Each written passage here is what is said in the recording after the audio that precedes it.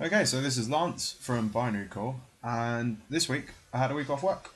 So I thought I'd spend the majority of the time gaming. Maybe getting through some games that I haven't played for a while that I've wanted to, or games that I just need to finish off and get achievements on.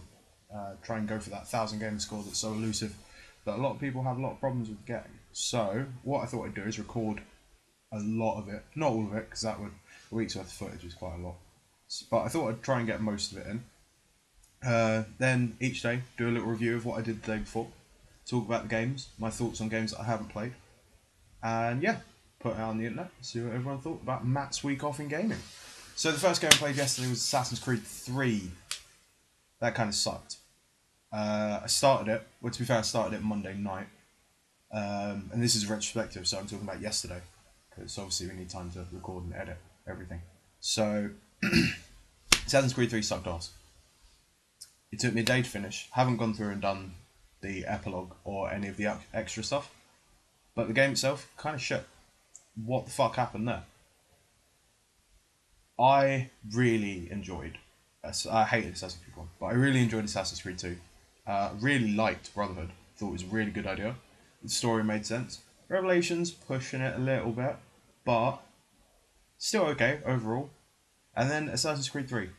I thought, yeah, this is supposed to be it. Like, they'll, they'll bring it back because it's the main title and it should be good.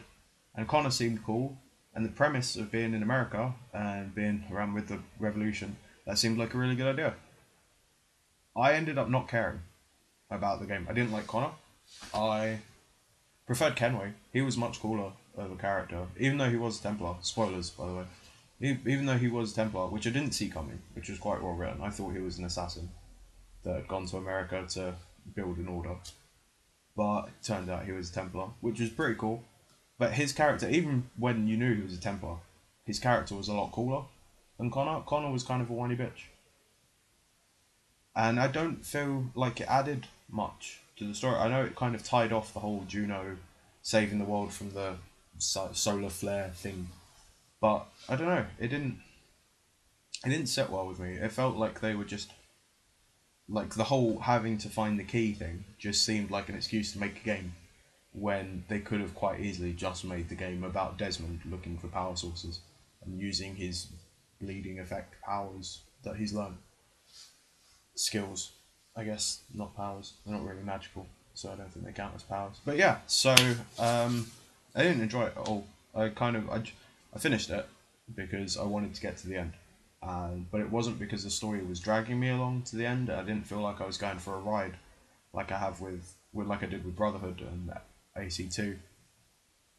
But I just I wanted to get through it, and willed myself through it, and I shouldn't have to push myself to get through a game. Uh, I shouldn't, and never normally take as many breaks from a game where I just pause it and go, do you know what, fuck it, I'm gonna go do something else, something sensible on my holiday instead of gaming, which I don't like doing. I, wa- I wanted to spend my whole week playing games that I really enjoyed, and Assassin's Creed 3 ruined that for me. It wasn't the best choice to start with, I think. I was warned about it, and I did know what the ending was before I played it because I looked it up to piss off Adam so I could laugh at him about it. But I thought maybe the build up to that would be better than it was, and it really wasn't. Um, the world was too big, which I've never norm I've never said that about a game before. I normally like the explory running around stuff, but the parts where you had to go and find like your mission start and it was on the other side of the frontier from where you started, I didn't enjoy that. I thought it was a waste of time. Um, running through trees, nowhere near as cool as I thought it was going to be. It actually tended to waste more time than it saved, which I thought the whole point of parkour and free running was to save time but running through trees did not help. Um, Achilles was a cool character though. I liked him. At least he kind of stood by his principles. But Connor, Connor was a terrible assassin. The Assassin's Creed game wasn't even really an Assassin's Creed game. Like I remember talking to Blaze about this, and he said that not once they ever mention that everything is true, nothing is permitted. Wait, no, nothing is true, everything is permitted. Creed. And I was like, oh, must mention it somewhere. It's an Assassin's Creed game. They've got to. It's kind of the whole point of the Assassin's Creed. But they never did, which was really sad. Um, so I didn't feel like it was an Assassin's Creed game. I didn't feel ever feel like an assassin. I felt more like a more badass foot soldier who was going around doing stuff for generals and kings and Washington and all that. I just didn't enjoy it. Um, and at the end of the game, I kind of felt like Kenway and admittedly Charles Lee was a dick, but Kenway's vision of what America should be like, and especially looking at how America is not exactly the freest place in the world at the moment, even though it's supposed to be. I kind of thought maybe the Templars had it right in that instance, and if Connor had gone through and actually worked with Kenway and they'd worked something out, maybe everything would have been roses. But then, suppose they had to kind of make it true to history if they wanted to stick it in with the rest of the games. But I don't know now. The game's ended. I thought, okay, that's it not a problem. Like the game's finished. I'm glad that it's over.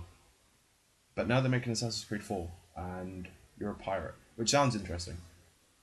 But if it involves being on the ship, and if it's still the Aquila, like it is in 3, I'm not going to enjoy it because I didn't enjoy the boat parts either. I thought they were like an interesting mini game, maybe they'd add something to the story, but they don't. They just kind of ship. So, overall, very disappointed in Assassin's Creed 3. But um, I recorded some gameplay footage of it anyway, and it'll be popping up around on this video. You'll see it. I'm probably not very. Maybe I missed a lot of things. Maybe if I did go through and do all of the extra side missions and the contracts and finding all the almanac pages for Benjamin Franklin, maybe I would have enjoyed it more. Maybe there's more story that I'm missing. But the whole point of an Assassin's Creed, as far as I can tell, is to take you back in history and feel like you were there, and it did with Ezio. And it did with Altaïr, even though the game sucked. With Altaïr, I felt like I was doing the stuff that had to be done. With Connor, I didn't feel like I was affecting anything. It felt more like I was just spectating, and I didn't enjoy that. Um, I'm glad, I was glad that it wasn't Ezio though. Like, I love Ezio, everyone's second favourite Italian game character. But, just, I don't know. It didn't feel like an Assassin's Creed game. And I'm hoping that the next one will feel more like it, or it won't. It will evolve into something completely different, and it won't be so much about being an assassin anymore. And they have the, a new story to tell. But I don't know how they're going to fit that in. The Desmond parts were cool though. I have to admit that being Desmond and using his skills, the small, the couple of missions that you did, like running around the Abstergo offices or the football stadium, the wrestling stadium in Brazil. They were really interesting, and I really enjoyed all of those bits. So yeah, that was day one of Matt's gaming holiday. Uh, tomorrow, well, today I guess, uh, I will probably be playing Hitman because I haven't played that yet, and I've heard lots of good things. So we'll see how that goes. I'll record some more, and I'll do another video tomorrow, and let you know how it all went. Okay, bye bye.